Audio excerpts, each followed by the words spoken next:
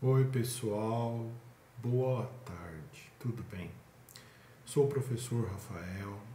Vim falar um pouquinho aqui com vocês sobre gestão de processos. Sou professor do Estado de São Paulo, pedagogo de formação, fiz pós-graduação em gestão e coordenação. Trabalho aí com equipes e hoje quero falar um pouquinho da gestão de processos. E o elemento que eu quero trabalhar aqui é a parte de estratégia, né? definição estratégica.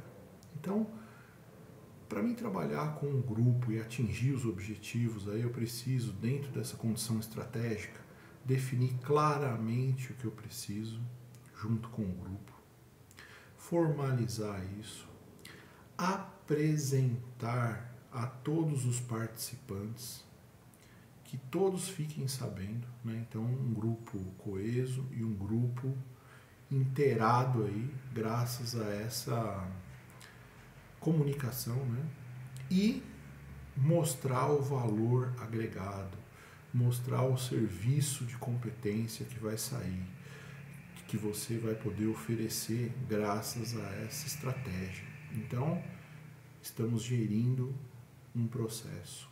E isso vai gerar uma melhora na equipe, uma melhora no serviço oferecido, ou mesmo um produto com valor agregado, com valor no mercado, valor na educação, valor de um processo.